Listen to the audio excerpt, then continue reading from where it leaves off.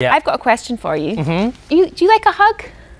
Is that an offer? No, it's certainly not. Because that would not be it's appropriate. not allowed in the pandemic, but COVID secure. pre pandemic, where you want to kind of go up and give someone a cuddle. when it's appropriate, uh, not necessarily in the workplace. Where, where are you going No, with no, not in the workplace. is this Well, question? because um, we have speculated quite a lot on this program actually about how important kind of hugs are, how how how much people are missing touch, you know, during all of this, um, and human contact is so important. And so we've been looking at it. Our uh, reporter in Aberdeen, India Grant, has been finding out why it's so important. COVID can affect our ability to smell and taste. But another sense which has been affected in the pandemic is touch. Keeping our distance reduces the spread of COVID 19. And with the exception of family members and, as of last week, relatives in care homes, hugs have not been permitted. So, how important is touch? I asked an expert. It's been called social glue. It's uh, stuff that connects us to other people, bonds us to, to other people. It's sort of the, the first sense that we learn as babies, um, make sense of our world through through touch. When we receive touch or when we when we give certain kind of touch, then it, uh, it communicates um, that we're we're close to someone, we're connected, that we um, that we're trusted or that we're we're trusting. And if you maybe live alone, you can't touch someone, hug someone, what kind of things can you do?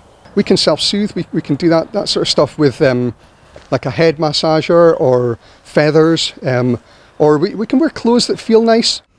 So we know that touch is really important for our mental health. But I wanted to see if people here on Aberdeen Beach on this beautiful day are looking forward to a hug. We're lucky because we live together, so we can hug all the time. but, but normally, No, yeah. I feel like a hug just solves everything. Yeah, of course. It's like, it's so affectionate. Of course I have.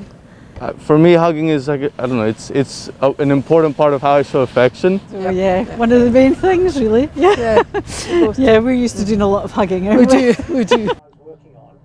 For a year, we've kept people at arm's length. But is there a reason why touch is so important to us? Uh, well, our hands are specially designed and uh, evolved to touch and explore the world.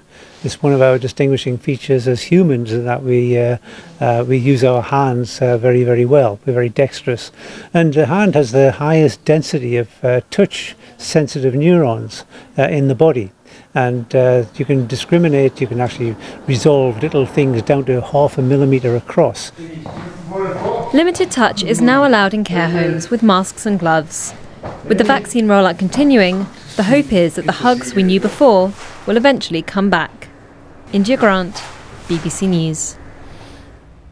It's interesting, that isn't it? Really interesting. And Mr. I don't like hugs. There you go. well, look, There's- we've got this thing. Ju- massager. Judith, Judith's with us. She's she's got one as well. Look, we've got these I think you massager go things. put, put it like on But the do you know, of your neck. I it reminds me of because I, every I have a rod for my Oh, own back in making pancakes on oh, Sunday oh, morning. oh, sorry, I'm sorry.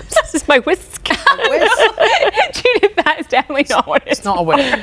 so it's what's it for your head? Yeah, you just kind of put Go it down like and it's the- oh, supposed to. mess your head up. Oh, it's quite nice, isn't it? Yeah. Or maybe like on your, your arms and stuff, yeah. My arms, my hips.